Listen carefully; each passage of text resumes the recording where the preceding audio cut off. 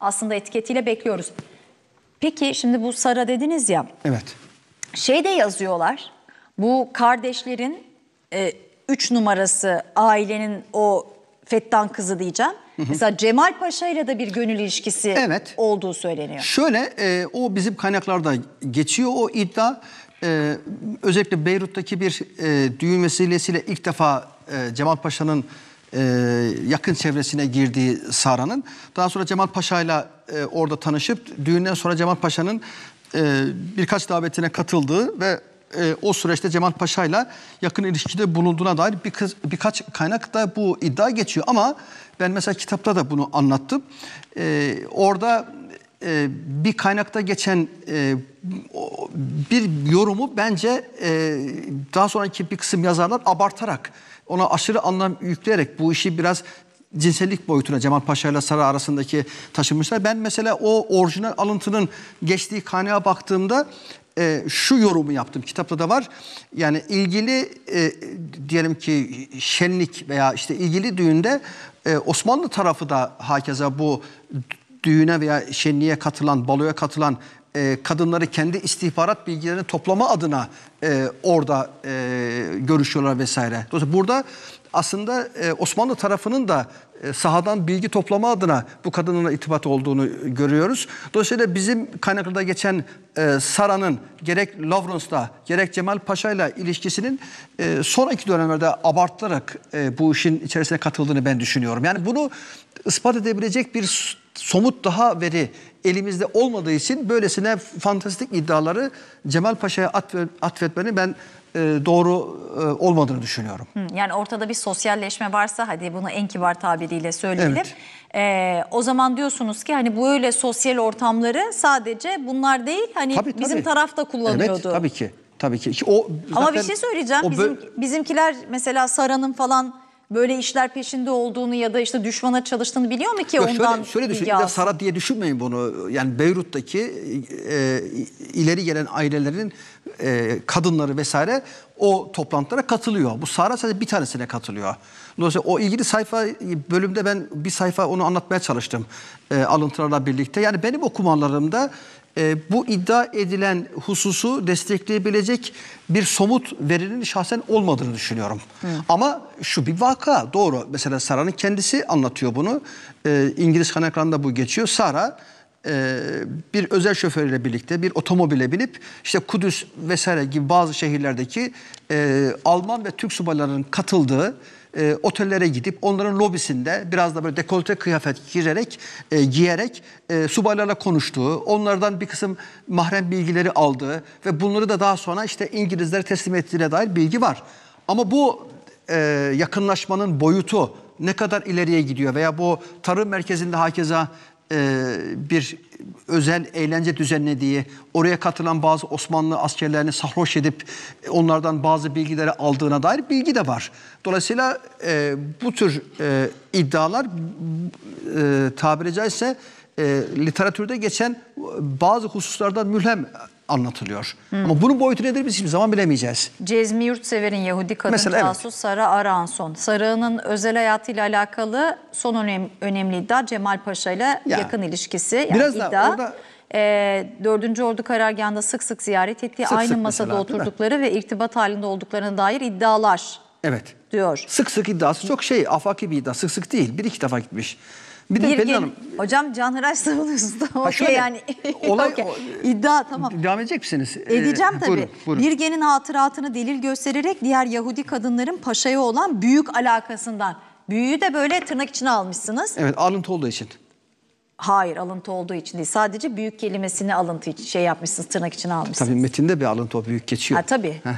Tamam. Buyurun. Ee, paşa için yapılan sabahlara kadar süren eğlencelerden bahsediyor. Bu tür eğlencelerin Yahudi ve Arap kadınlarla Türk yetkilileri arasındaki yakınlaşmalara neden olduğunu söyleyerek bu eğlence ortamının istihbarat faaliyetleri için uygun bir zemin sağlaması imasında bulunuyor. Yalnız mesela şunu da belirtmişsiniz. Kitabında Yahudi ve Arap ayrımı yapmadan doğrudan Beyrut kadını tabiri de kullanılıyormuş mesela. Tamam devam edin. Birgen'de. Devam edin orada bir şey Ee, gelecek. ya- yani sizin dediğiniz kuvvetle ihtimal Cemal Paşa da bu tür ortamları kendi istihbaratı için kullanıyordu. Ben tabii atlaya atlaya okuyorum, Lütfen, hepsini evet. okumuyorum.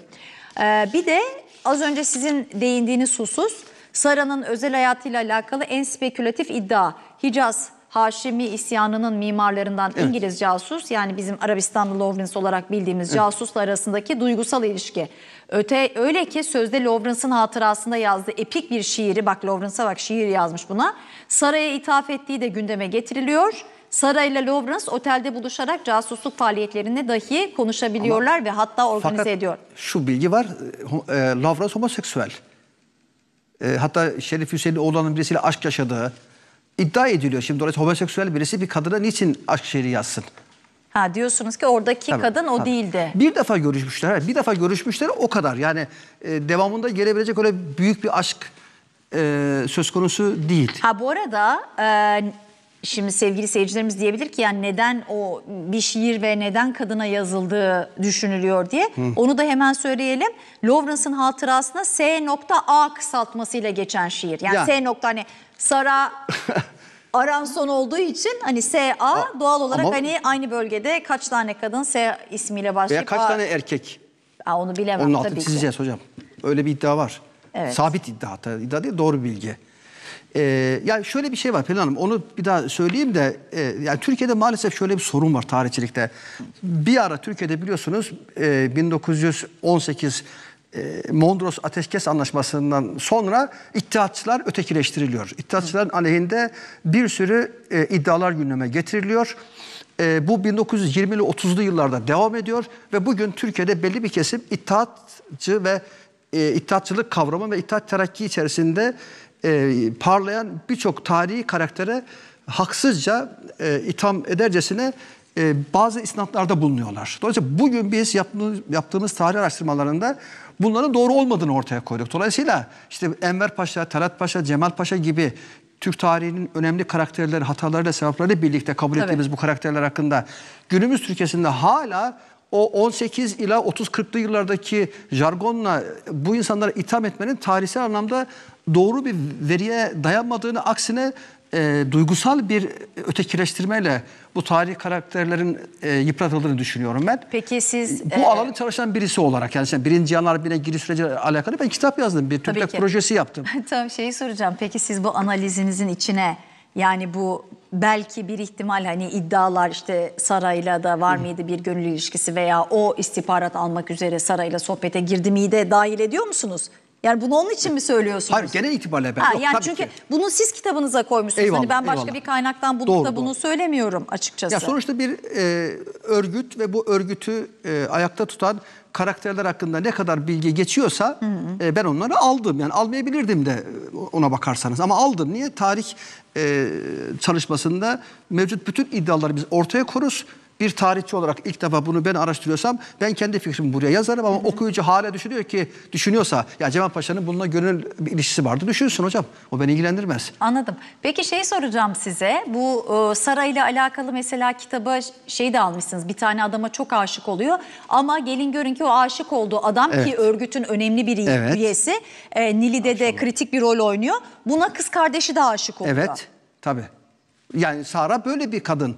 E, hatta kitapta yine geçer biliyorsunuz. Normalde e, Bulgaristan'da bir, bir yani Bulgar e, vatandaşı bir Yahudi iş adamıyla evleniyor ama evliliği e, mutsuzlukla e, neticeleniyor. Boşanmaya karar veriyor veya boşamadan da olabilir. Şu anda orayı hatırlamıyorum. Geri geliyor. Geri geldikten sonra işte bu e, Rıfka'nın e, sevdiği e, romantik e, hatta Nili şeyi diye geçiyor, önemli ismi diye geçiyor. Ona aşık oluyor. Dolayısıyla birlikte hatta e, oluyorlar vesaire. Birlikte çekildikleri fotoğraf var hakeza.